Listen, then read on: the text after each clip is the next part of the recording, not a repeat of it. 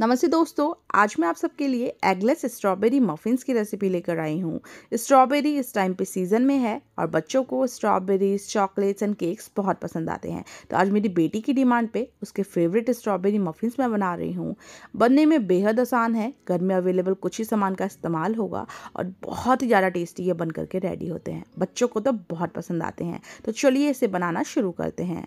ये strawberry muffins बनाने के लिए मैंने one fourth cup refined oil लिया है। आप कोई भी ऐसा ऑयल लीजिएगा जिसमें स्ट्रॉन्ग स्मेल ना हो, साथ ही डाल देंगे तीन चौथाई कप पिसी हुई चीनी। आधा कप चीनी को नाप करके मिक्सी में पीस लिया है। दोनों को अच्छे से हम मिक्स करेंगे जब तक कि ये इस तरीके से क्रीमी ना हो जाए। अब इसमें डाल रही हूँ आधा कप दूध। तो दूध एकदम रूम टेम्परेचर पे है। इसके साथ ही एक छोटी चम्मच विनेगर विनेगर की जगह लेमन जूस ले सकते हैं। और आधी छोटी चम्मच मैं डाल रही हूँ स्ट्रॉबेरी इमल्शन। इमल्शन का मतलब है जिसमें कलर और एसेंस दोनों हो। तो मेरे पास ये अवेलेबल था, मैं ये इस्तेमाल कर रही हूँ, आप सिर्फ़ एसेंस डाल सकते हैं। इन सब चीज़ों को अच्छे से मिला लेना है। विनेगर की वजह से दूध फट जाएगा तो इसको अच्छे से कंबाइन करें जब तक इस तरीके से ना हो जाए। अब इसमें हमारे ड्राई इंग्रेडिएंट्स डाल देंगे। तो एक कप मैं मैदा ले रही हूँ, आप मैदा की जगह गेहूँ का आटा ले सकते हैं। आधी छोटी चम्मच बेकिंग पाउडर, चौथाई छोटी चम्मच बेकिंग सोडा, यानी खाने वाला सोडा या फिर मीठा सोडा। साथ ही मैं यहाँ पे दो टेबल स्पून मिल्क पाउडर डाल रही हूँ। ये टोटली ऑप्शनल है। इसको डालेंगे तो टेस्ट थोड़ा रिच आता है बट अगर नहीं है तो स्किप कर सकते हैं। अच्छे से मिक्स करके इन सबको छान लेंगे। ड्राई इंग्रेडिएंट्स हमेशा छान करके इस्तेमाल करें। इससे कोई इम्प्योरिटी होगी, वो भी निकल जाएगी और आपका जो ड्राई इंग्रेडिएंट्स है वो लाइट और एयरी हो जाता है।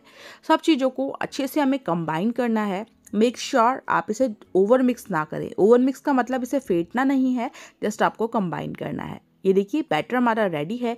एकदम स्मूथ और एकदम, देखिए, आप देख सकते हैं, इस तरह का रिबिन कंसिस्टेंसी का बैटर बन करके हमारा रेडी होगा।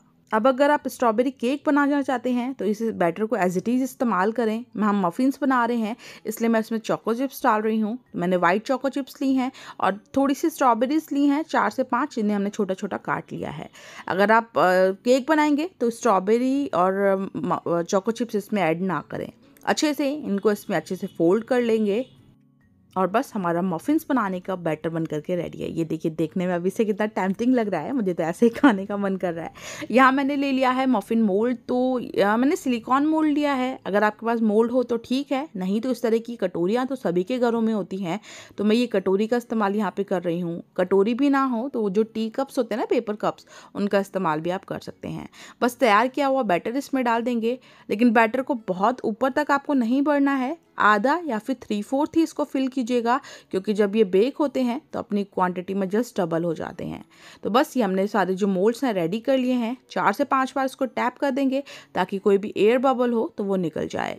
तो बस रेडी हैं ये बेक होने के लिए। ऊपर से हम थोड़ी सी स्ट्रॉबेरीज डाल रहे हैं जिससे दिखने में और भी अच्छे लगेंगे, और थोड़ी सी मैं चॉको चिप्स डाल रही हूँ। आप चाहें तो स्किप कर सकते हैं और वाइट चोको चिप्स की जगह डार्क चोको चिप्स भी आप इस्तेमाल कर सकते हैं। तो चलिए इनको बेक कर लेते हैं। अवन में बेक करेंगे तो 170 डिग्री पे 18 से 20 मिनट आपको लग जाएगा। तो ये वाला जो मोल्ड है वो मैं अवन में रखती हूँ और ये वाली प्लेट हम रखेंगे गैस पे। तो इसमें मैंने एक प्लेट पे तीन कटोरी रख ली है। यहाँ मैंने ऑलरेडी ना एक भारी तरह का बर्तन 10 मिनट के लिए प्री हीट कर लिया है।